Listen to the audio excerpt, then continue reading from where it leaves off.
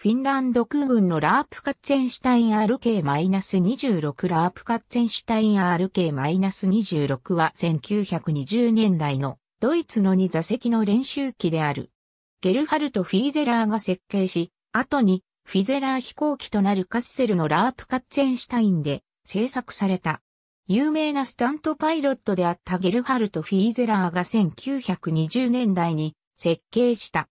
フィーゼラーは RK-26 で極技飛行のチャンピオンとなり、スウェーデン空軍が練習機として興味を持ち、1930年12月にスウェーデンに招かれ、スウェーデンの航空機メーカー、オスヤは RK-26 一機を購入した。スウェーデン空軍はいろいろなエンジンを搭載してテストを行い、後にオスヤに25機の RK-26 を発注した。スウェーデン空軍は SK10 という記号をつけて1932年から1945年の間運用された。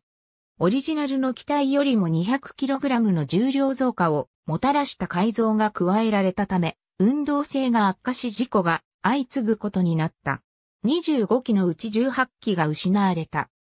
1934年に民間パイロットエル・ヘマリンガーが購入した RK-26 はフィンランドとソビエト連邦の間の冬戦争が始まるとフィンランド空軍に寄付された。